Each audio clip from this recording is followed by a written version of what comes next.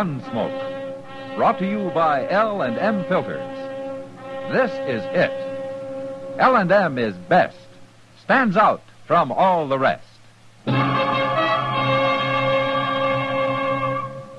Around Dodge City and in the territory on West, there's just one way to handle the killers and the spoilers, and that's with a U.S. Marshal and the smell of gun smoke.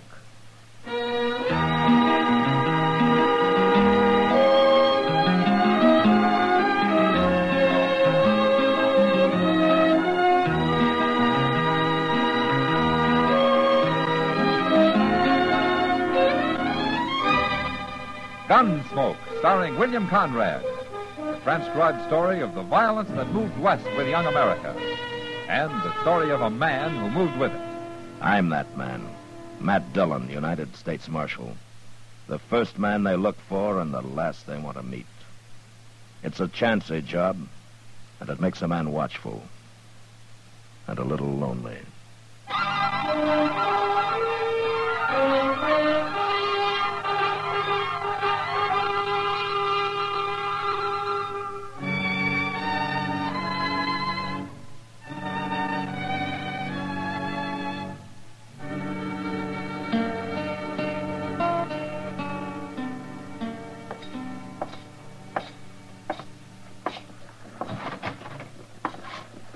Marshal Dillon, come in, Marshal, come in. Hello, Teeters. Uh, you got time to give me a haircut? You're the only customer I've had in an hour, Marshal. Oh. You hang your coat and your gun belt right over there. I'll get things ready for you. Okay. Say, haven't seen you around town lately, Marshal. Well, I've been over in Abilene for a week. I just got back late last night. Oh, must come in on the midnight Santa Fe, huh? Yeah, that's right. I wish I could get out of Dodge once in a while. Well, not the way I have to do it, you wouldn't. Maybe you're right, Marshal. Maybe you're right. Hey, this is a new chair you got, isn't it? Yes, sir. The finest barber's chair west of St. Louis. That's pretty fancy. Here, try it. Ah. Comfortable? Well, I'll tell you after I find out if you've raised your prices to pay for it. Here, let me get this cloth over you. Here you are. Haircut's still a quarter, Marshal. What about shaves? The price of a shave's gone up a dime, Marshal. A dime. Now, Marshal, you wouldn't stand in the way of progress for the sake of a dime, would you? Yeah, but who's progress? Hmm. Anyway, you don't need a shave, not today. That's a good thing. See, Marshal, you know Mabel over at the Long Branch. Yeah. Well, last Wednesday night. Oh, take a chair, stranger. I'll be with you in a few minutes. Last Wednesday In a few minutes. Yeah, that's right. You're next, right in line. Barber, What? I ain't next. Why, of course you are. Nobody's ahead of you. I said I ain't next. You mean you won't wait? That's right. Oh, I sure won't you wait. will. I work fast. It won't be longer than ten minutes at the most. Now, you just sit down. I I'll want be... to shave. I want to right now. You can cut his hair later. What? You heard me. Now, look, mister, you don't know who you're... Shut up, Teeters. Get out of that chair, mister. Take this sheet off of me, Teeters. All right. There.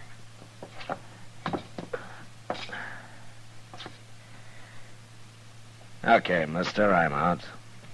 And move. I want to sit down. You don't understand. I don't understand what. I didn't get out of that chair so as you could have it. You're going to be troublesome, ain't you? I am.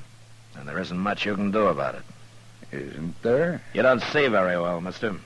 What? I'm not wearing a gun. It's hanging on the wall over there. You going to shoot an unarmed man in front of a witness? Go get your gun. Put it on. No. Do it. You licked, mister. How you going to make me do it? Shoot me? Put your gun on. I don't like killings, but if you don't turn around and walk out that door, I'm going to half kill you with my fists. Now get moving. All right. Got me this time, but next time you'll be wearing a gun. It'll be some different then.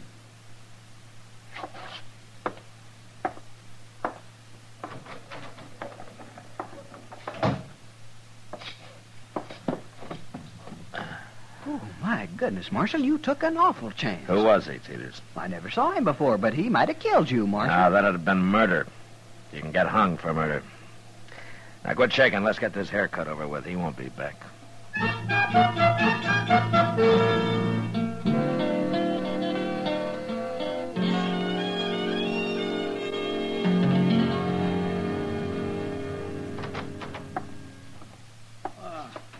Mr. Dillon. Hello, Chester. I was looking for you. Well, I've been right here in the office the past half hour. Yes, sir, I know. I'm past the barber shop. Teeters told me.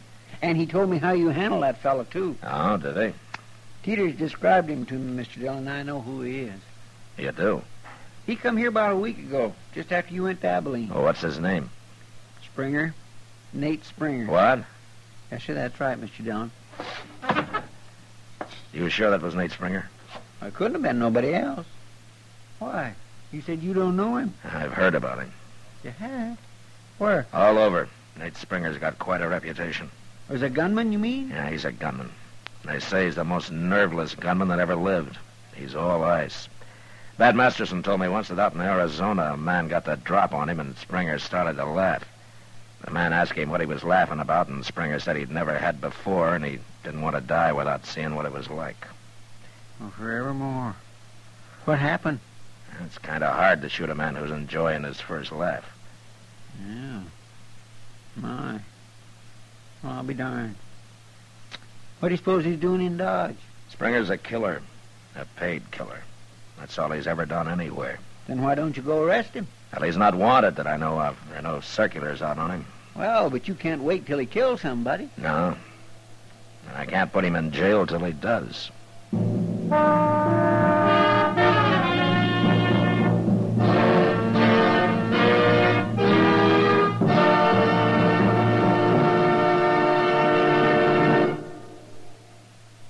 This is it, L&M filters. It stands out from all the rest.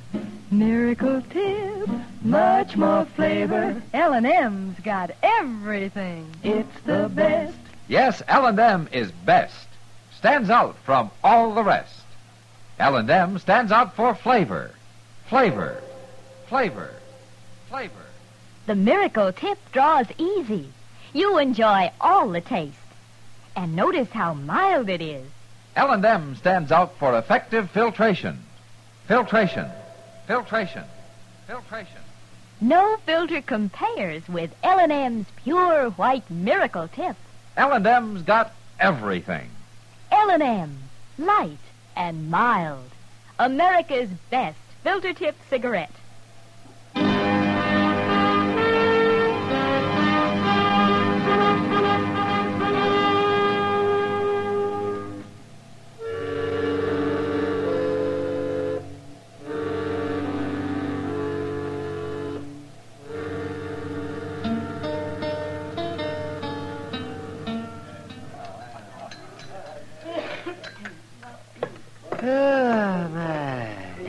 Time for another cup of coffee, Matt? Well, I'll take time, Doc. That's good. Here you are, then. Ah, thank you. Well, things pretty wild up in Abilene? Well, it's still a camp with a hair on, Doc. Worse than Dodge? No, I wouldn't say that. hmm and I'll stay here. Oh, why? You're usually complaining about Dodge. I'm thinking about business, Matt. Business. What's there to do in a peaceful town? Oh, aside from delivering a baby now and then and setting a broken leg. You know, sometimes you sound pretty bloodthirsty, Doc. I don't do the shooting, Matt. It's men like that Nate Springer you were telling me about. He, uh, he's sitting over there in the corner, Doc. He is? Well, where? There. Alone with his back to the wall. Oh. Oh, yes. Oh, yes. Oh, my, he looks like a killer, all right. He is. Yeah. You see how he keeps turning around? I mean, oh, it's like he thinks everybody in this room's his enemy. Man like that doesn't have friends. Oh, oh, oh, oh, well, he's getting up, man. He's. Oh, well, he's coming this way. Yeah. He hasn't finished his dinner. You better turn around, Doc. Ah, okay. But you keep your eye on him. I don't like that man. Hey, you. Me? What was you staring at me for? I wasn't staring at you. No man stares at me without a reason. I don't like it. I want to know why you was doing it. Oh, now look here, mister. You're getting yourself all upset over nothing. Well, you ruin your dinner working yourself up. This Tell way. me why you was staring at me. I'll put a hole in you. I'll do it. Well, you're awful jumpy for a big gunman. Tell me, I said. Hold it, Springer. You getting into this, mister? I am. Who are you, anyway? Matt Dillon. Dillon. That's right. I knew I'd run into you sooner or later. Oh, why? My line of work, there's always some lawman wanting to interfere. Sure. And it'll happen here, Springer. You kill anybody. Fair fights, fair fight, ain't eh? it? Not when you're paid to pick a fight with a man. Like I said, Marshal, I knew I'd run into you. Springer, when I find out who you're after, I can probably find out who's paying you. And I'll jail you and him both.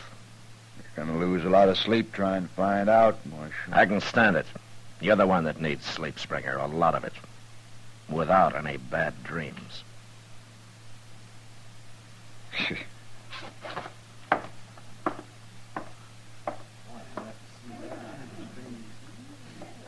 Oh, well. Looks like the man of ice is starting to melt, man. Yeah. You know, something's happening to him, Doc. And whatever it is, it isn't good.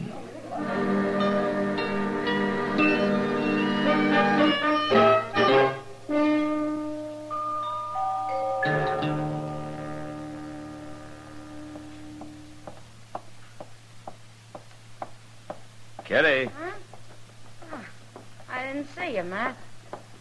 Yeah, sit down. If you got time. Oh, I don't have to go to work till after sundown. Good. Guess I might as well sit here and watch Front Street with you as do anything else. Little air is good for you. Ah, and a lot of it'd be even better. Well, you ought to buy a horse, Kitty. Take a ride up the river every day or so. I'm too broke, Matt. Well, I'll lend you one. I got a little bay that's pretty gentle. Imagine having more than one horse. That's about all the government gives me, Kitty. A couple of cheap horses. I seen you riding your own. Well, I gotta keep him in shape in case I decide to quit. The day you quit, that horse will be as old as a man. I hope you're right, Kitty. Hey, Look, Matt. What? Walking down the middle of the street. Yeah, Springer. Now, who'd expect a man like Springer to have a little yellow dog? I don't know the dog's his, Kitty. Maybe he's just following him. He's right at his heel. I don't think Springer knows it. Oh, he's trying to sniff at him. Matt, he shot him. Poor little dog, he didn't do anything. I'll be back, Kitty.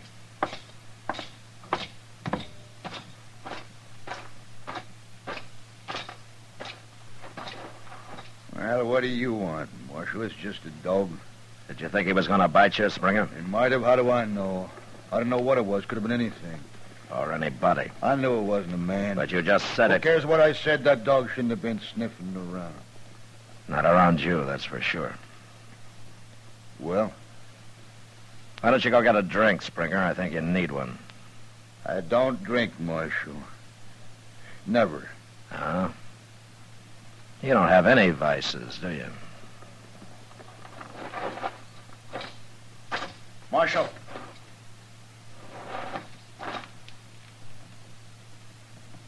Nothing. Go ahead.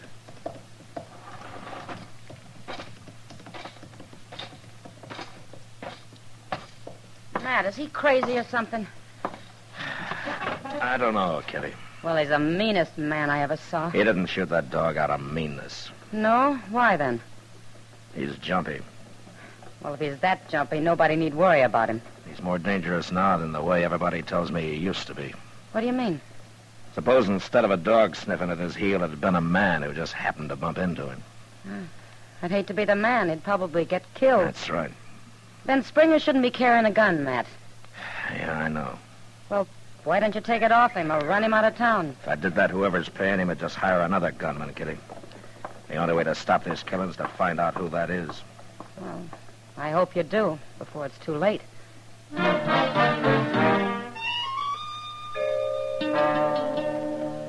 That night, I had Chester follow Springer around, keep an eye on him. But all he did was to buck the Faro Bank for a few hours and then go to bed earlier than the most respectable citizens.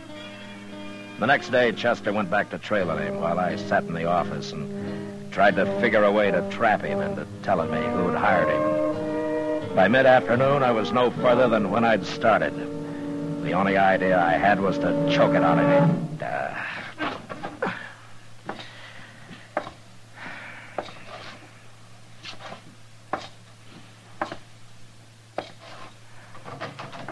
Hey, Mr. Dillon, Yeah, what is it, Chester? that doggone Nate Springer, he almost shot a girl over there. What? A girl over at the Alfraganza. What do you mean he almost shot her? Well, sir, he stayed in his room all morning till just before noon. Never mind that. What about the girl? That's what I'm getting to.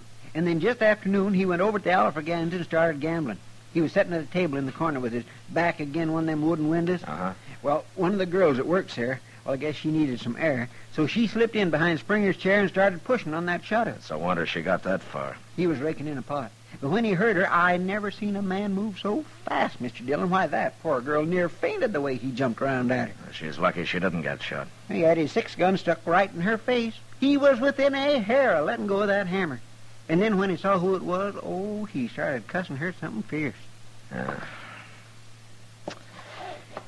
Well, he's getting worse. He's going to kill somebody, sure, acting that way. Yeah. And it won't even be the one he come here to kill. Oh, fancy him about to shoot a woman. Well, I guess I can't wait any longer, Chester. What you going to do? I'm going to try to shame him first. If that doesn't make him talk, I'm going to have to run him out of town.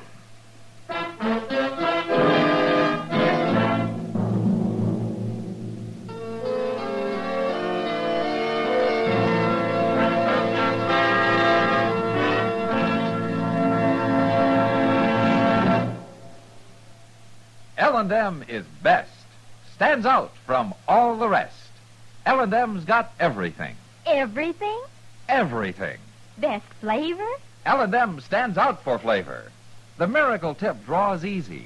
Lets you enjoy all the taste. Best filter? L&M stands out for effective filtration. No filter compares with L&M's pure white miracle tip for quality or effectiveness. Best tobacco?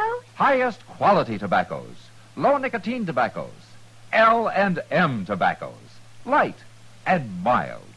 Every way, L&M is best. Stands out from all the rest. How easy they draw. How mild they are. L&M's got everything. King size or regular, L&M is America's best filter tip cigarette.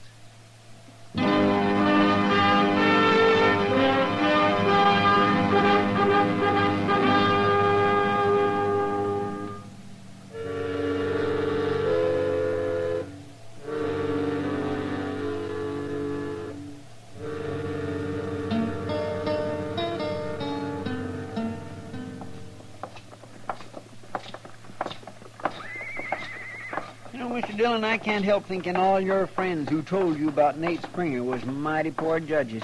He's about the uncoolest gunman I ever saw. I agree about that, Chester. Uh, who told you about him last? I don't remember. Been two or three years. Well, maybe it was just a lot of rumor. You know how talk gets started sometimes. Now, Wyatt Earp was the first man who told me about him. Oh? Look, uh, when we get inside here, you go to the bar and stay there, huh? Yes, sir.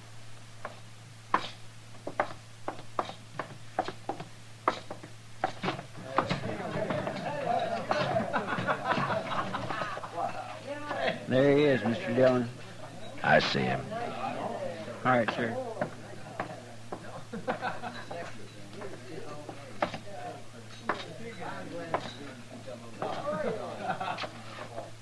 Springer. Springer, come over here.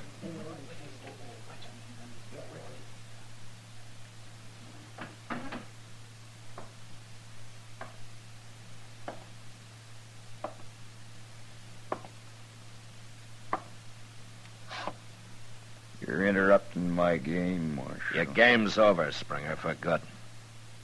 What does that mean? Get out of Dodge. What? If you've been paid in advance, you better give him his money back. You're not going to earn it. You're saying I ain't? It's an hour to sundown. You'll be out of town before dark. It's a long time since a man's talked to me like that, Marshal. How long's it been since a dog scared you into shooting him? Or since you drew on a woman, huh? You lost your nerve, Springer. You ain't gonna kill anybody. Shut up. Yeah, I'll shut up. If you tell me who hired you. No, Then who are you supposed to kill? I won't tell you. Okay, I didn't think you would. But you'll be out before dark, Springer. And don't ever come back. Ever.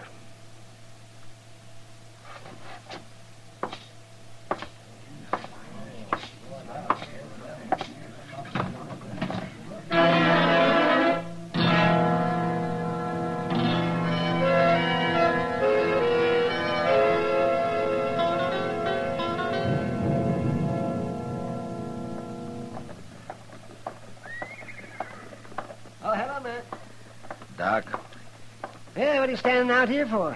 Why aren't you inside with your feet on your desk the way you usually are? I'm waiting for somebody, Doc. Oh? Oh, you sound serious. It's Nate Springer. He's got about 20 minutes to leave town. Was that so? Well, you finally had to come around here, huh? He's still in the Olafraganza over there. If he doesn't come out before dark, I'm going in after him. Yeah. Oh, uh-uh. Here comes somebody. There. No, that's Chester. Oh, yes. So it is. Yes. Is there going to be a shooting, Matt? I doubt it, Doc. Springer's already backed down. Well, you never know. I'm going to get my things ready just in case. Sure, Doc.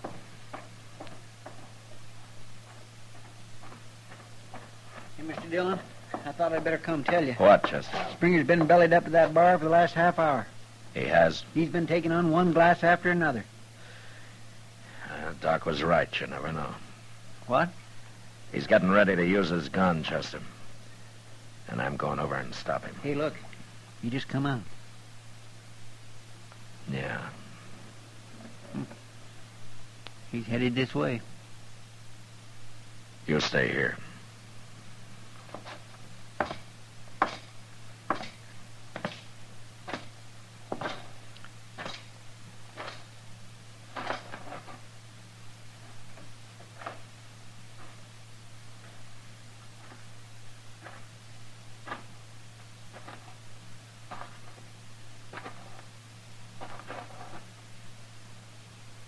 Marshal, I thought you didn't drink, Springer. I never did before. Well, you started too late. You haven't time to find your man. You're leaving town. I've found him.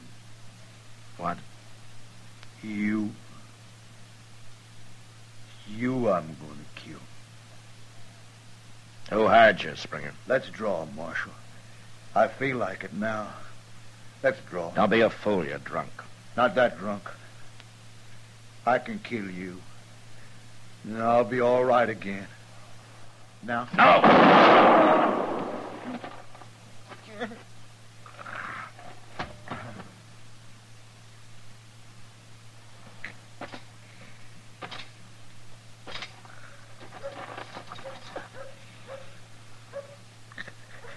You shouldn't have tried it, Springer. I had to. Why? Yuma prison. Two years. I come out scared. Lost my nerve in that prison. Then why did you take this job? I had to. Who hired you, Springer? I did, Marshal. I hired me. I, I had to face somebody like you to get my nerve back. Don't you understand? Yeah. Yeah, I understand. Didn't work. No. And I paid everything I had for it. It it cost me everything in the world.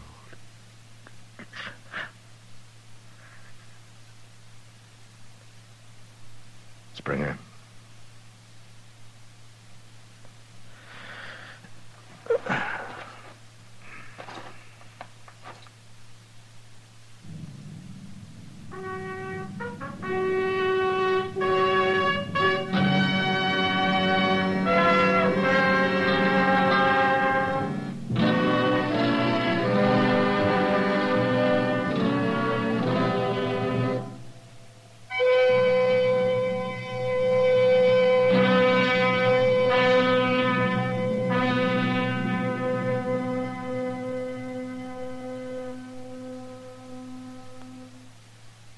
Our star, William Conrad. Thank you, George.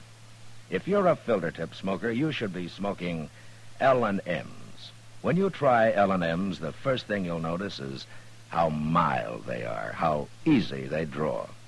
With L&M's pure white miracle tip, you enjoy all the taste.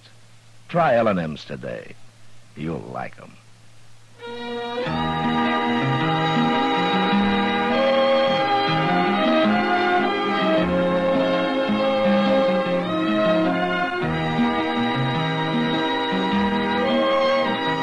Gunsmoke, produced and directed by Norman MacDonnell, stars William Conrad as Matt Dillon, U.S. Marshal.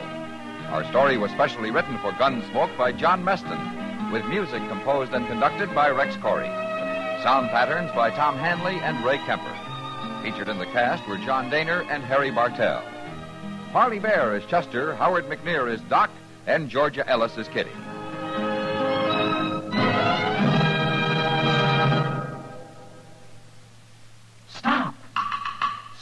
Smoking with a smile with Chesterfield. Smiling all the while with Chesterfield. Put a smile in your smoking, just give 'em a try. Light up a Chesterfield. They satisfy. Put a smile in your smoking.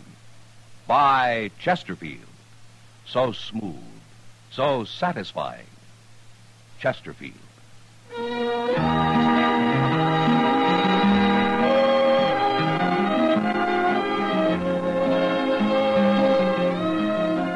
Also enjoy Chesterfield's great radio shows. Perry Como sings all the top tunes on CBS Radio every Monday, Wednesday, and Friday. Jack Webb stars in Dragnet on Tuesday nights. Check your local listings. Remember, listen again next week for another transcribed story of the Western frontier when Marshal Matt Dillon, Chester Proudfoot, Doc, and Kitty, together with all the other hard living citizens of Dodge, will be with you once more. It's America growing west in the 1870s. It's drama. It's Gunsmoke. Brought to you by L&M Filters.